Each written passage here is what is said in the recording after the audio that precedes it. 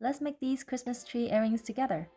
Hello, welcome to my channel Rilany Creations. I'm Wendy and today I will show you how to make these Christmas tree earrings. First, I want to show you how different the tree can look depending on the size of bead you use and the type of bead you use. This one here I use 4mm bicone crystal beads, but this one it's a little bit too big for me. Uh, I do like bicone crystals a lot because of how shiny the beads are, but again it's a little bit too big so I tried making another one using 2mm crystals and I prefer this size for myself. This tree have 8 rows 1, 2, 3, 4, 5, 6, 7, 8. You are going to need some green beads for the tree and colorful beads for the ornament and 2 brown for the stump. Here I have some 2mm beads a total of 36 beads. The number of green and colorful beads depends on how many ornaments you want for your tree, but in total, this should add up to 36 beads. I also have a star for the top of the tree and two brown beads for the stump. Tools wise, you will need a wire cutter, a round nose plier, a chain nose plier, and a nylon jaw plier. I have here 12 inches of 28 gauge wire I am using the soft wire, but I would suggest using half cut wire for the actual earring. I'm using the dead soft because it's more flexible for me to um, demonstrate this tutorial a little bit better.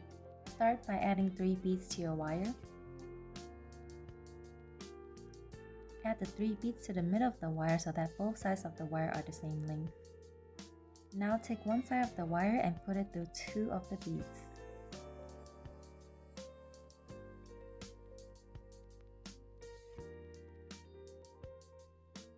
Basically, you want to form a triangle with the beads. You see here, this bead is not in the middle and it moves. So I like to use a nylon jaw plier to pull on the wires and tighten everything up.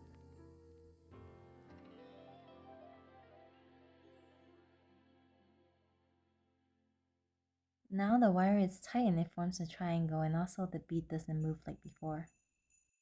Now we create the next row by adding 3 beads to one wire here I have one colorful ornament, but it's up to you. You can add whatever color you want or you can even do all green.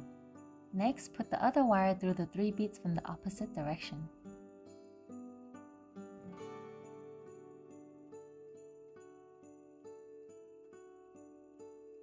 Again, you can use the nylon jaw plier to pull on the wire to tighten everything up.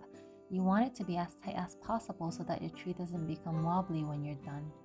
Next row, we add 4 beads to one wire and again we repeat the steps by putting the other wire through the 4 beads from the opposite direction.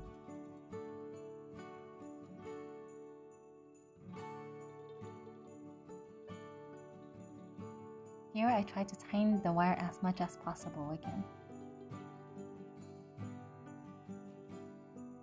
Now add 5 beads and repeat the steps.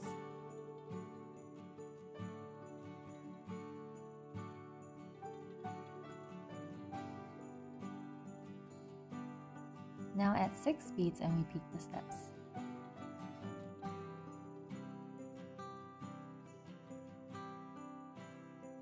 Now add 7 beads and repeat the steps.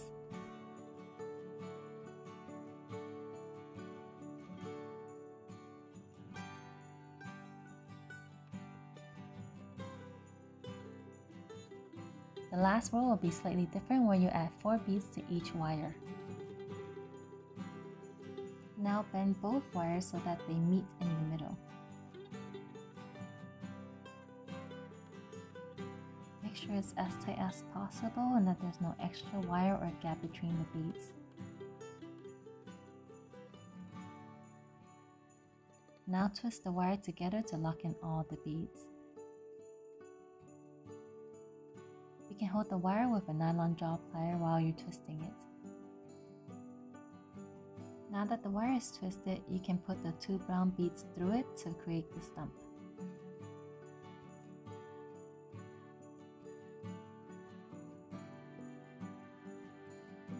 Now cut off extra wire leaving about half an inch of wire. Now take the round nose plier and create at least two loops with the wire to lock in the bead.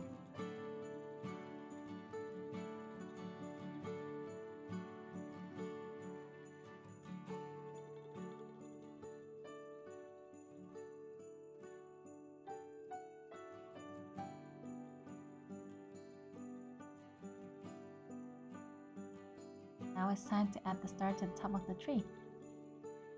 Take a small piece of wire and put it through the top bead on the tree.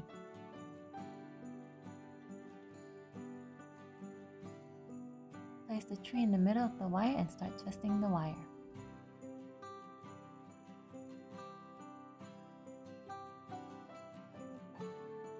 Now you can add the star through the twisted wire.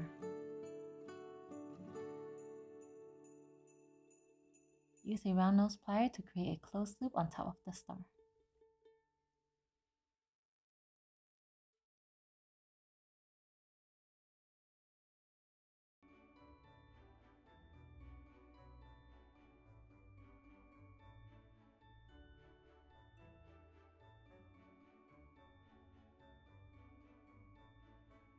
Cut off any extra wire and then use a chain nose plier to flatten any wire that is sticking out.